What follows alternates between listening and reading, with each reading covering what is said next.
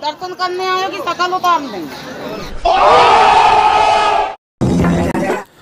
तो हेलो दोस्तों, कैसे हो आप? तो आपका स्वागत है विट्टू विजन के ब्लॉग में। जी हाँ तो आज मैं आपको एक और धार्मिक स्थल में लेके चलने वाला हूँ, जिसका नाम है कचनार सिटी। जैसे तो जबलपुर के अगर आप हैं तो आपको ये पता ही होगा कि कचनार सिटी किस लिए प्रसिद्ध है। यहाँ का वातावरण, यहाँ के लोग बहुत ही अच्छे हैं। तो दोस्तों, बिना वक्त जाए कीजिए आज की करते हैं वीडियो शुरू। तो ये जो आप रास्ता देख रहे हैं, ये हमारे कचनार सिटी के अंदर जाने का रास्ता है, जो हमारे सामने एक प्रवेश द्वार है। यहाँ से हम लेंगे एंट्री। तो चलिए चलते हैं।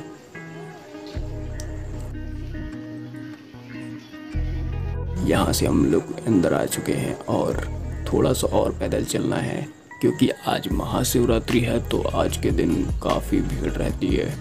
और कोविड का टाइम है, क्योंकि कोविड ऑलमोस्ट ख़त्म ही हो चुका है, लेकिन फिर भी सावधानी बरतना बहुत ज़रूरी है। इसलिए थोड़ा सा माहौल टाइट है यहाँ का। चलो, ये है प्रवेश द्वार, क्योंकि यहाँ मुख्य द्वार है, यहाँ से सीधे दर्शन हमारे भोलेनाथ के होते हैं।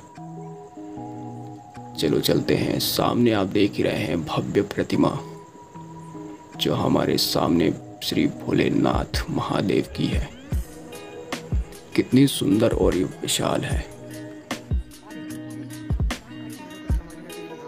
इसकी लंबाई छिहत्तर फीट ऊँची है और इसे 2004 में बनाया गया था, लेकिन काम शुरू होते होते और सारी सुविधाओं को मद्देनज़र रखते हुए इसे पब्लिकली 2006 को खोला गया था।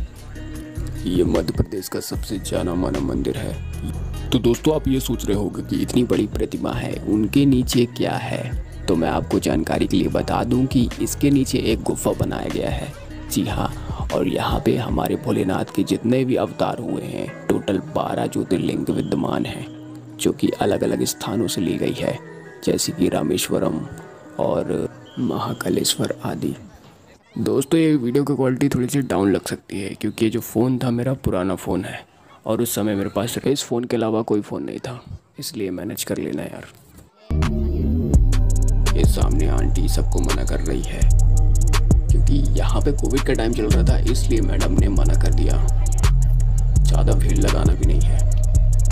यहाँ पे बहुत सारे श्रद्धालु अंकल आंटी निब्बा निब्बी सब तरह के लोग यहाँ सेल्फी ले रहे हैं। हमारे भोलेनाथ कितने सुंदर दिखते हैं। ये हमारे सामने एक यज्ञ है, यज्ञशाला जिसे बोलते हैं। और यहाँ पे पूजा अर्चना का काम और नारियल तोड़ने का भी काम यही होता है। ये मैं हूँ।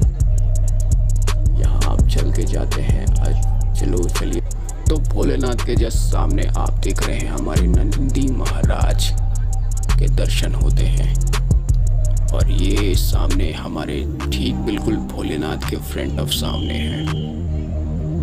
बहुत ही अच्छी प्रतिमा बनाई गई है ये। अब दोस्तों, यहाँ तक आ गए हो तो हमें भी देख लो। मैं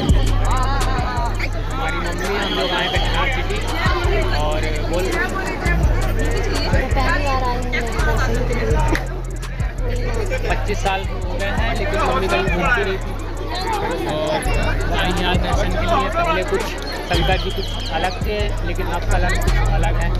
हमारी सिस्टर बोल इसलिए इसमें बहुत सारी नॉइस है जो कि आप देख के परेशान हो जाएँगे। यहाँ पे। शंकर चौड़ारे सॉन्ग है शहनाज अख्तर का वहाँ के इसमें मैं बताने की कोशिश कर रहा हूँ कि यहाँ पे शहनाज अख्तर का गाना जो था शंकर चौड़ारे यहीं पर शूट हुआ था। हमारे भोलेनाथ यहीं पे दिखाए गए थे। उस समय शायद वो भोलेनाथ जी का कलर बादामी कलर था। पीछे पड़ जाते हैं लोग। पूरी गई मुझे नहीं पता मेरी मम्मी लोग कहाँ गई और सारी जनता आती अब यहाँ पे भीड़ ज़्यादा बढ़ रही है। इसलिए यहाँ पे आंटी लोग ने सबको मना कर दिया है। क्योंकि ज़्यादा भीड़ अगर लगाएँगे तो दिक्कत ही होनी है। क्योंकि कोविड का टाइम चल रहा है। और यहाँ आप थोड़ा सा दर्शन कर लीजिए क्योंकि यहाँ पे एक से एक स्टैचू लगाई गई है। अभी हम नहीं पता मुझे किसके किसकी स्टैचू है लेकिन आप देख सकते हैं। ये सामने आप देख रहे हैं यहाँ पे बैठने का स्थान बना था लेकिन कोविड के वजह से यहाँ पे अभी सब बंद कर दिया गया है। इसलिए यहाँ पे बल्ली से बाँध दिया गया है लेकिन यहाँ पर आंटी देखो बल्ली नाक के अंदर चली गई। ये दद्दा आगे हमको भगा रहे हैं बार बार कितनी बार भगाओगे?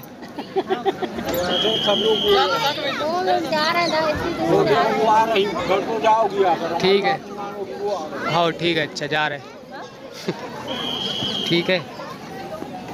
जैसे जैसे समय बीत रहा है, यहाँ पे भीड़ बढ़ रही है, क्योंकि भीड़ इसलिए बढ़ रही है, एक साल के बाद लॉकडाउन खुला था, इस वजह से यहाँ भीड़ भारी पड़ रही है, और यहाँ के लोग नहीं मान रहे हैं। सिक्योरिटी गार्ड को मजबूरी में आकर यहाँ के लोगों को बाहर निकालने के लिए बोला जा रहा है। और यहाँ पे आंटी सीटियाँ मार के सबको चलो बाहर चलो। करती है। आंटी भगा रही है हम लोग को मार मार के। डंडा लेके भगा रही सबको। बहुत तेज। चलो मम्मी। करो भैया। हमारे जैसे भीड़ हमने नहीं देखा। इतनी जनता दर्शन करने आए कि शकल उतार लेंगे भीड़ ज़्यादा बढ़ने के कारण यहाँ पे ज़्यादा श्रद्धालु नहीं रुक सकते क्योंकि कोविड का भी टाइम चल रहा है इसलिए यहाँ तक ही दर्शन हमने करवा पाया आपको।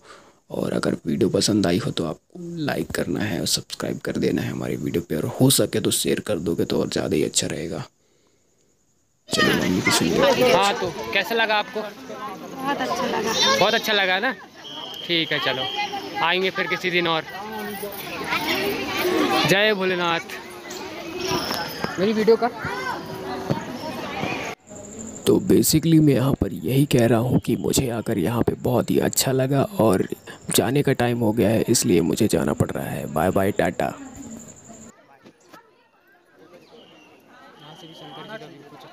तो ये थे कचनार सिटी के दर्शन और अब हम लोग निकल रहे हैं अपने घर की ओर और ये है एग्जिट गेट यहाँ पे हम लोग अपनी चप्पल ढूंढेंगे, कहाँ रख दिए हैं, क्योंकि हम लोग ने चप्पल स्टैंड में नहीं लगाए थे।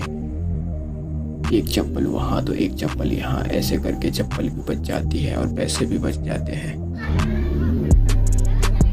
तो भाई, मैं तो चप्पल ही पहन के आ रहा जान के। इसलिए चप्पल पहन के आ रहा है भैया चोरी हो जाएगी तो कोई टेंशन नहीं। तीन साल पुरानी चप्पल रगड़ रहा हूँ। क्या चाहिए? बस, यहाँ पे लोग स्टैंड में चप्पल रखते हैं यहाँ पे। और कैसा लगा सही? है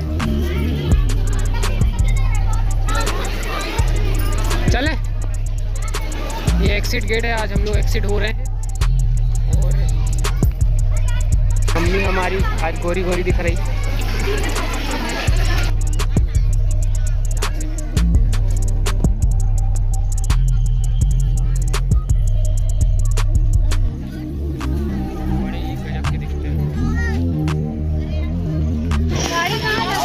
गाड़ी उधर लगी स्टैंड में। इधर से इधर से इधर से।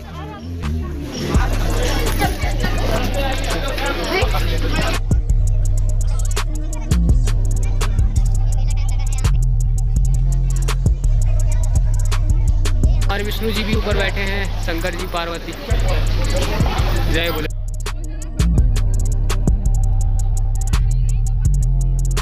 देखो, तुम लोग इधर ही रुकना है। मैं आ रहा हूँ गाड़ी लेके। एक तो हर जगह स्टैंड का नाटक हो गया। पहले यहाँ स्टैंड नहीं लगता था, लेकिन अब यहाँ स्टैंड के लिए भी पैसे देना पड़ेगा। कोई बात नहीं। अभी बार बार ये ब्लर मार देता है बेबी को वही ख़राब लगता है। यहाँ झूला झूल पहले यहाँ कुछ नहीं रहा भाई, दस साल पहले। हम लोग छोटे थे, थे आठवीं क्लास में थे तब हम लोग आए थे। ये स्टैंड है मैं गाड़ी लेने जा रहा हूँ अपनी। कपड़ा भी ऐसी पड़ा है। ठीक है तो मैं निकलता हूँ अपनी डिलक्स में। आज का ब्लॉग यही समाप्त करते हैं। और अगर आपको वीडियो अगर सही लगी हो दीजिएगा thanks for watching good bye चलिए चलते हैं। हर हर महादेव।